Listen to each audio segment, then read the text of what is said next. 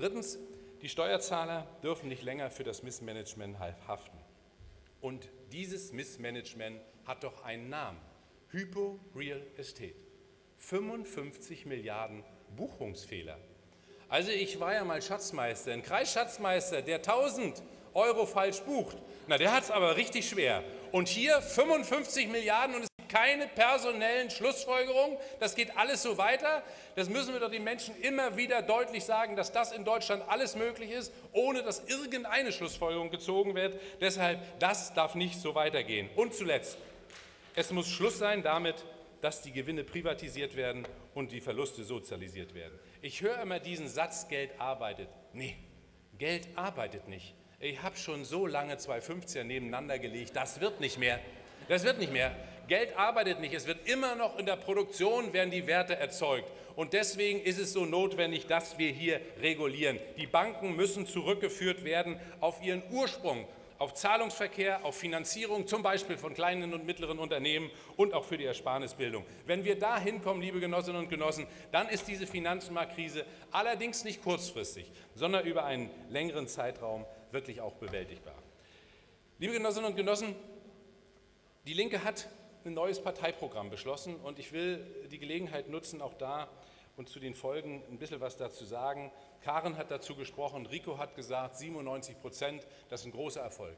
Ja, ich sehe das auch so. Der Parteitag war erfolgreich und es war sehr gut, dass wir das in dieser Größenordnung angenommen haben. Es gibt ein ganz, ganz großes Bedürfnis nach dem letzten Jahr nach Geschlossenheit in der Linken und ich glaube, dass das auch gut ist. Und ich werbe auch hier dafür, denn es gibt zum Programm einen Mitgliederentscheid, will ich ausdrücklich sagen, dass dieser Mitgliederentscheid nicht etwas ist, was pro forma gemacht wird, sondern dass wir dort um eine hohe Beteiligung und um eine hohe Zustimmung äh, kämpfen. Das ist nämlich wirklich gut. Aber das Parteiprogramm ist eine notwendige, aber keine hinreichende Bedingung für unseren Erfolg. Wir müssen erreichen, wir müssen mehr erreichen, dass uns die Menschen wieder zuhören. Unser Programm ist nicht immer, ist nicht immer deckungsgleich, äh, um das zurückhaltend zu sagen, mit dem Lebensalltag der Menschen. Das ist kein Problem. Aber unsere Aufgabe ist es, hier wirklich jetzt zu übersetzen. Und da gilt das Wort vom alten Engels, jeder Schritt wirkliche Bewegung ist wichtiger als 100 Programme. Und das ist unser Auftrag, den wir dann nach Erfurt mitnehmen müssen. Und ich will da aus Zeitgründen nur eine Leseempfehlung geben. Die Leseempfehlung ist, Dieter Klein hat äh, ein kurzes, sehr, sehr gutes Werk geschrieben, meines Erachtens, Nachdenken über eine zeitgemäße Erzählung der Linken. Das ist lebensnäher, lest es vielleicht mal durch, es soll eine Anregung sein. Aber ich will auch eines ganz, ganz deutlich sagen. Ich glaube, dass die programmatische Frage eine ist, aber dass die strategische Frage, Rico hat das heute formuliert, für, für uns eine enorm wichtige ist. Und ich bin der Auffassung, dass es meines Erachtens nicht geht, in die Position zu kommen, wir gegen alle. Ich bin der Auffassung, dass wir Alleinstellungsmerkmale brauchen. Je mehr, desto besser. Aber wir müssen auch Lernfähigkeit dokumentieren und wir müssen das auch anderen zugestehen, dass sie lernfähig sind. Und für mich sind eben CDU, CSU, FDP nicht gleich mit FDP und Grünen. Wir müssen diese Differenzierung sehr wohl annehmen. Und ich weiß, wer für die Agenda 2010 äh, zuständig ist. Ich weiß, wer Hartz IV eingeführt hat. Ich weiß, wer die deutschen Soldaten in den Afghanistan-Krieg geführt hat. Das weiß ich alles. Und trotzdem bleibt es, dass wir, wenn wir kooperationsfähig sind, dann können wir natürlich auch Dinge, die vernünftig sind, unterstützen. Und das passiert doch ganz normal in allen Kommunen. Das passiert doch in vielen Ländern. Und mir muss mal einer erklären, wie der Ansatz, den Rico hier dargestellt hat, denn möglich werden soll, ohne Kooperation, außerparlamentarisch, mit Gewerkschaften, aber eben auch mit anderen politischen Kräften. Das brauchen wir, damit wir auch hier zu einer Veränderung kommen können. Ja,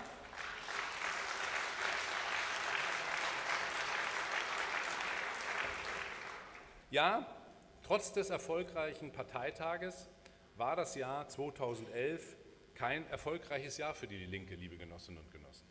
Es ist so, dass unser politischer Einfluss nachweisbar zurückgegangen ist.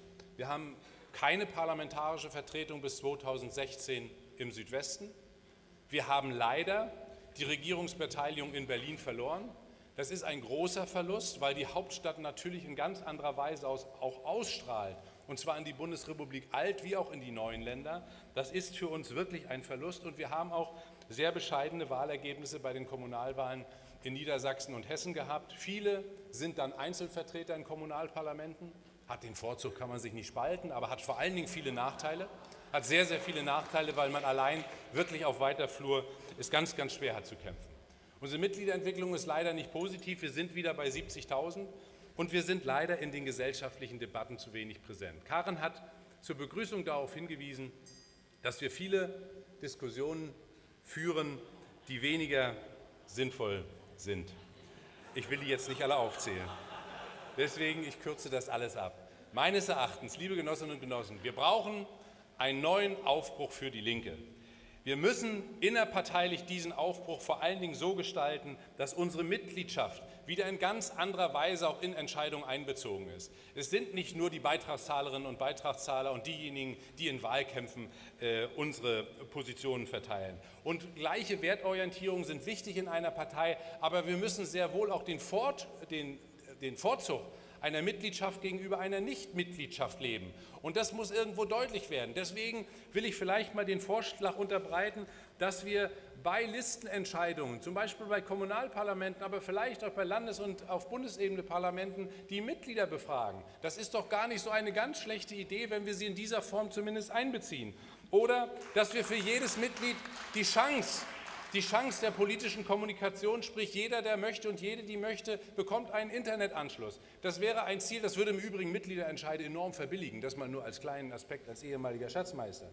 Und selbstverständlich brauchen wir auch eine, ein Klima, da hat Rico darauf hingewiesen, was wirklich Offenheit in den Debatten bei uns symbolisiert und signalisiert. Wir brauchen diese Offenheit. Ich war zu lange in einer Partei, die immer alles gewusst hatte, die immer alles Recht hatte. Ich will nie wieder in einer Partei sein, die alles weiß und immer Recht hat. Das, glaube ich, müssen wir als Linke unbedingt ausstrahlen.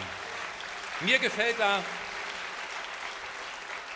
mir gefällt da sehr, was der italienische Linkspolitiker Nicky Vendola gesagt hat. Der hat formuliert, die alte radikale Linke hat sich genauso überlebt wie die reformistische. Was ich will, ist eine neue, postideologische, pluralistische, populäre Linke, die sich vor allem auf das Neue, auf die Jungen und ihre Sprache einlässt.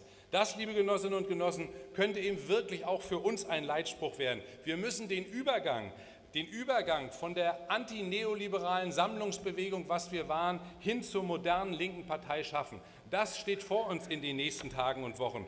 Und deswegen, deswegen ist Sachsen natürlich auch in einer besonderen Rolle. Nicht, weil ich hier bin, sondern weil ihr der Landesverband mit den meisten Mitgliedern seid. Weil ihr vor der Herausforderung steht, hier wirklich endlich die CDU-Herrschaft zu brechen. Und die Möglichkeiten sind natürlich im Moment so gut wie noch nie. Das ist zwar noch ein bisschen hin, aber da muss man jetzt beginnen, a, das auszustrahlen, dass man das will, b, die Voraussetzungen zu schaffen und drittens dann auch die Angriffslust zu entwickeln, dass wir das schaffen können, liebe Genossinnen und Genossen. Die reale Machtperspektive, die reale Machtperspektive ist wichtig.